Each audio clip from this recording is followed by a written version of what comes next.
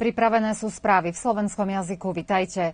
Premiérka Anna Brnabičová sa v Prahe zúčastní na schôdzi premiérov Vyšehrádskej štvorky, do ktorej patrí Česko, Poľsko, Slovensko a Maďarsko, na ktorej budú účinkovať aj premiéry Západného Balkánu. Ide o prvé stretnutie na úrovni predsedov vlád, ktorí budú hovoriť o posilnení politickej a ekonomickej spolupráce dvoch regiónov. Brnabičová do Prahy prichádza v rovnaký deň, keď český prezident Miloš Zeman ukončuje návštevu Belehradu. Po Zemanovom svojom vyhlásení, že si overia možnosť stiahnutia uznania nezávislosti Kosova, Priština zrušila svoju účasť na tomto samite. Za prítomnosti ministra hospodárstva Gorana Kneževiča dnes v Indii dánska spoločnosť Grundfos slávnostne otvorila modernizovanú čističku odpadových vôd Biobaster. Samotný príchod dánskej spoločnosti, ktorá zo 10 rokov úspešne pôsobí v Indii, svedčí, že Srbsko je dobrým miestom na investovanie, uviedol minister Kneževič. Dodal, že Grundfos zaznamenáva vyše 4 miliardy eur priamých zahraničných investícií. Podľa jeho slov táto dánska spoločnosť vždy bude mať pod podporu vlády Srbska a zhodnotil, že nová čistička je na najvýš dôležitá na zachovanie lepšieho životného prostredia.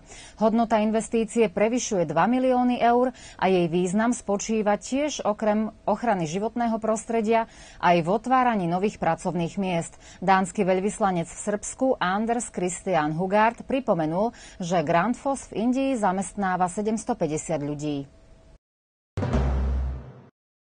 Podľa údajov ministerstva školstva v minulom roku v našej krajine pôsobilo okolo tisíc neodborných učiteľov, ktorí prednášali okolo 27 tisíc žiakom, píšu novosti. S cieľom riešiť problém nedostatku odborných učiteľov z jednotlivých predmetov ministerstvo pripravuje súbeh na štipendia pre študentov 2. a 3. ročníka fyziky, matematiky, informatiky, srbčiny, angličtiny a nemčiny, ktorí majú záujem prednášať v školách po skončení štúdia. Novosti ďalej uvádzajú, že ministerstvo prostredníctvom prostredníctvom štipendia so sumou 12 tisíc dinárov mesačne plánuje pozdvihnúť povedomie študentov o význame učiteľského povolania. Za posledný mesiac v našej krajine zomreli až tri tehotné ženy a štyria novorodenci, preto mimoriadná inšpekcia ministerstva zdravotníctva kontroluje zdravotnícke objekty v Srbsku s cieľom odhaliť, či eventuálne nedošlo k nedbalému liečeniu pacientov. Inšpekcia vyšetruje oddelenia ginekológie a pôrodnice v klinickom stredisku v Níši, ako aj vo všeobecných nemocniciach v Kruševci, Alexinci a v Majdanpeku.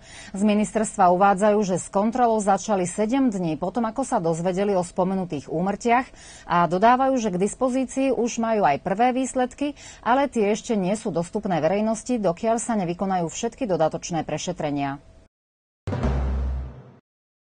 Jedným z bodov programu 45. zasadnutia zhromaždenia obce Stará Pazova, ktoré sa bude konať zajtra, bude aj rozhodnutie o zmene a doplnení plánu detailnej regulácie centrálnej pracovnej zóny v obci. Prebrať sa bude aj rozhodnutie o doplnení štatútu verejného komunálneho podniku Čistoťa a vymenovanie riaditeľa verejnokomunálneho podniku Toplana. Pred odborárov sa dostane aj správa mandátno-administratívnej komisie o udelení mandátu novým odborárom a tiež správa o žatve strní sídlisk na území Staropazovskej obce v tomto roku. Zasadnutie začína zajtra, 13. septembra o 10. hodine.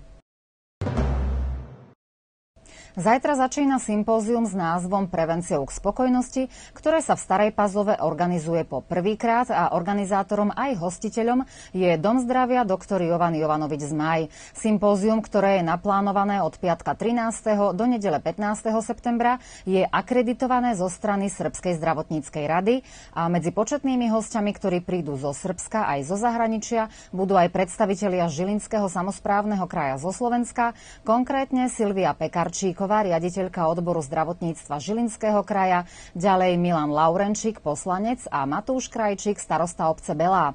Trojdňové sympózium sa bude konať v Národnom futbalovom dome v Starej Pazove.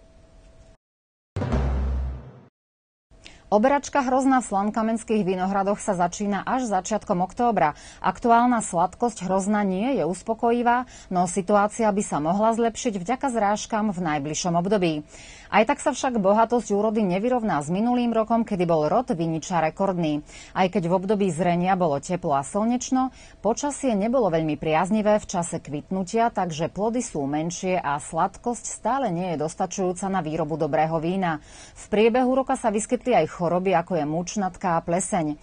Tí, ktorí majú väčšie plantáže, už pomaly začali so zberom, ale väčšina vinohradníkov čaká na koniec septembra alebo až na začiatok októbra. Sobotu 14. septembra v Belehrade sa uskutoční diplomatický humanitárny turnaj. Začalo sa to pred tromi rokmi na iniciatívu diplomatov slovenského veľvyslanectva. V Lani pokračovala udalosť už s humanitárnym charakterom a tak je tomu aj v tomto roku. Organizátormi sú slovenské a poľské veľvyslanectvo v Belehrade s podporou Ministerstva športu a mládeže Srbska.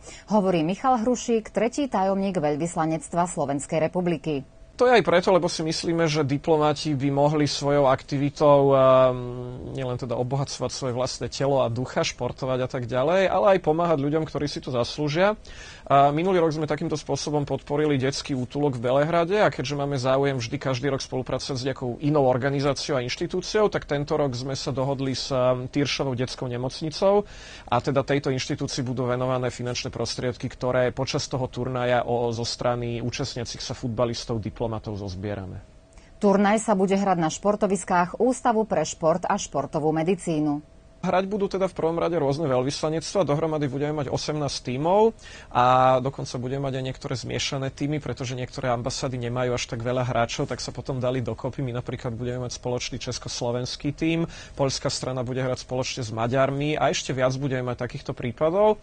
A okrem toho sa zúčastnia tiež týmy delegácie Európskej únie, e, misie OBSE v Srbsku a takisto ministerstva mládeže a športu. A to bude dohromady tých 18 tímov, ktoré budú najskôr skupinové a potom v vyraďovacej fáze súťažiť o finálny pohár a medaily. Okrem futbalových zápasov naplánovaný aj sprievodný program pre návštevníkov a aj pre deti a turnaj sa začne o 10. hodine.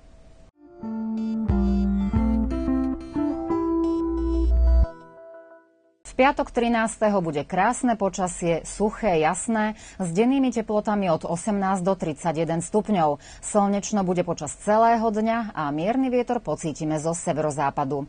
Počasie je posledné, o čom sme vás dnes informovali. Prihlásime sa opäť zajtra.